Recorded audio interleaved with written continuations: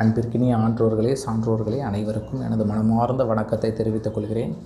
ஒவ்வொரு நாளும் ஒரு ஒரு சிந்தனையாக நாம் ஔவையாரினுடைய குரலமுதத்தில் ஞான குரல் என்று அழைக்கக்கூடிய அந்த குரட்பாக்களில் நாம் ஒவ்வொரு அதிகாரத்தின் கீழும் பத்து பத்து குரட்பாக்களை நாம் பார்த்து வருகிறோம். அதனுடைய பொருளை அறிந்து மனதால் கேட்டு அவற்றை நாம் உணர்ந்தும் பார்க்கிறோம். அந்த வகையிலே இன்று உருவாதீதம் என்கின்ற அதாவது திருவருட்பால் என்கின்ற தலைப்பின் கீழ் உருவாதீதம் என்கின்ற அதிகார அந்த தலைப்பில் பத்து பா குரட்பாக்களை இப்போது நாம் பார்க்க போகிறோம். அதாவது உருவற்ற நிலையில் இருக்கக்கூடிய அறிவாகிய உணர்வு உருவற்ற நிலையில் இருக்கும் அதாவது உருவாதீதமாக உணருதல் அருத்துவ மாற்றியாக அப்போ இந்த பாடலை ஒவ்வொன்றாக நாம் பார்ப்போம். அந்த பாடலுக்கேற்ற பொருளையும் உரையாசிரியர் அளித்த அந்த உரையா உரையும் நாம் கேட்டு நம் வாழ்வில் பயன்பெறுவோம் என்று சொல்லி இப்போ நாம் குரலுக்கு போகலாம் கருவின்றி வீடாங் கருத்துற வேண்டில் உருவின்றி நிற்கும் உணர்வு. உடலை தன் வயப்படுத்தி இருக்கும் கருவாகிய மனம் புத்தி சித்த ஆங்காரம் இல்லாது எண்ணமாகிய கருத்தை நினைவில் அசைவற்று நிறுத்த அவ்வுடலில் மோட்ச வீடு. அதாவது அவ்வுடல் என்பது இங்கே மோட்ச வீடு. அறிவாகிய உணர்வு உருவற்ற நிலையில் நிற்கும் என்று சொல்கிறார் அடுத்ததாக பிறத்தலொன்றின்றி பிறவாமை வேண்டில் அருத்துருவ மாற்றீரு. அதாவது ஞான விரோதமான தத்துவங்களை நீக்கியும் மறுபடியும் உதிக்க விடாமலும் செய்வதற்கும் அவற்றின் சக்திகளின் உருவத்தை கண்டு அவைகளின் இடத்திலிருந்து வேறுபடுத்தி விட வேண்டும் என்று இந்த பாடலை சொல்லுவோம் பிறத்தலொன்றின்றி பிறவாமை வேண்டில் அருத்துருவ மாற்றீரு அடுத்ததாக மூன்றாவது குரல் உருவங்களெல்லா மறுத்தர மாற்றில் கருவேதுமில்லை தனக்கு. அதாவது அஞ்ஞான குணங்களுக்கு மூல காரணமாக உள்ள உருவங்களையெல்லாம் அவ்விடத்திலிருந்து பெயர்த்து குணங்கள் எழாமல் இருக்கும்படியான இடத்துக்கு பூரணமாக மாற்றிவிட்டால் மனுவுக்கு அஞ்ஞான தத்துவங்களினால் ஏற்படும் குணங்கள் ஒழியும். என்று. அதாவது குணங்களின் சூட்சும சக்திகளை மாற்றிவிட்டால் குணநலன்கள் ஒழியும் குணங்கள் ஒழியும் என்பதை இந்த பாடலில் சொல்கிறார் அடுத்ததாக கருப்பு வெளுப்பு சிவப்புரு பொன் பச்சை அருத்துருவ மாற்றியிரு. அதாவது கருப்பு என்பது வாயு சக்தியாகவும் வெளுப்பு என்பது ஆகாய சக்தியாகவும் சிவப்பு என்பது அக்கினி சக்தியாகவும் பொன் என்பது பூமி சக்தியாகவும் பச்சை என்பது நீர் சக்தியாகவும் உள்ளது. இந்த சக்திகளை எல்லாம் தன் இருப்பிடத்திலிருந்து பெயர்த்து பூரணமாக பிரணவத்தில் சேர்த்து அசைவற்று இரு. அதாவது ஐம்பூத சக்திகளை அதன் இருப்பிடத்தில் இருந்து பெயர்த்து அவற்றின் நிறங்களாகிய குணங்களோடு பிரணவத்தில் அடைத்துவிடு.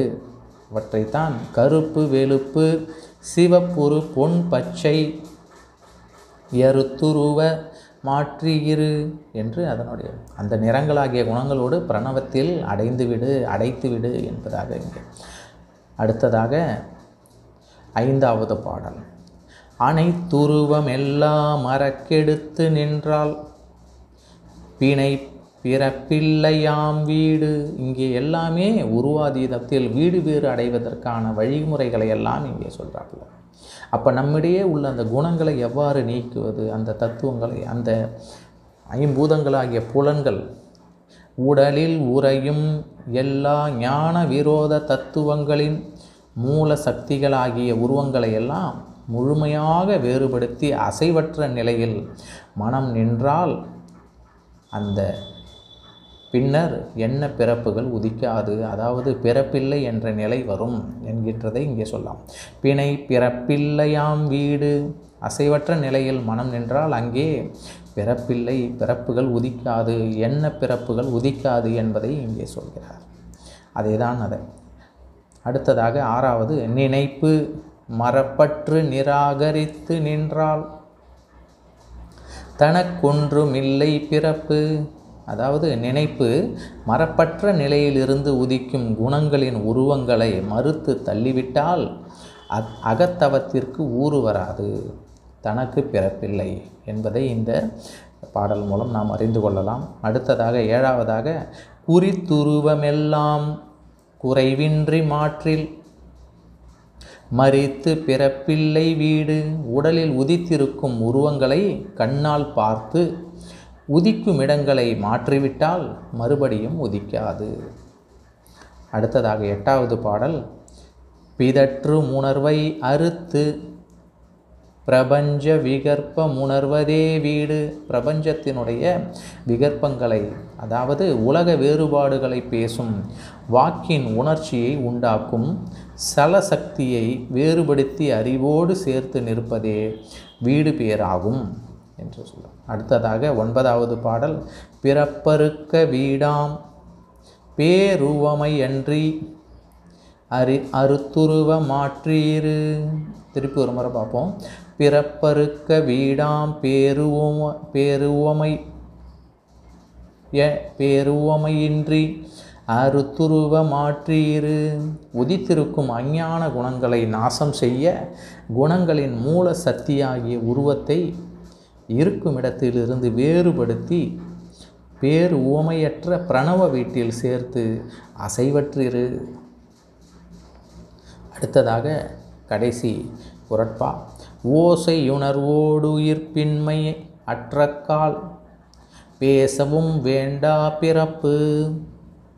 அதாவது உயிர்ப்பின்மை என்றால் செயலற்ற தன்மை கிளர்ச்சியற்ற தன்மை என்று பெறும் ஓசை உணர்வு உயிர்ப்பின்மை ஆகிய அழிய எண்ணங்கள் அழியும். ஓசை உணர்வு உயிர்ப்பின்மை ஆகிய ஆகிய அழிய எண்ணங்கள் எல்லாம் அழியும். பிறப்பு அரும். அதை தான் பேசவும் வேண்டா பிறப்பு. அப்போ உருவாதீதத்தில் வீடு பேறுவதற்கு வீடு பேருக்கான வழிமுறைகளை இங்கே எவற்றையெல்லாம் நாம் தள்ளி வைக்க வேண்டும்? எவற்றை இடமாற்றி நாம் வைக்க வேண்டும்? எவற்றை வேறுபடுத்தி நாம் பார்க்க வேண்டும்? எவற்றை அறிவோடு சேர்த்து நிற்கும் போது வீடு பேராக நமக்கு அமையும்? அகத்தவத்திற்கு எது ஊறு வராது? அப்போ உதிக்கும் குணங்களின் உருவங்களை மறுத்து தள்ளி வைத்தால் நமக்கு அகத்தவத்திற்கு ஊறு வராது.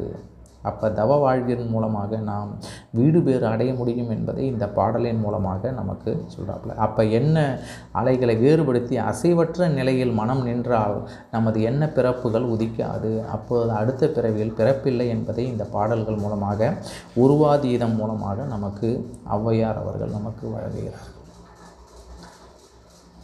நாளை பார்ப்போமா? மிக்க நன்றி.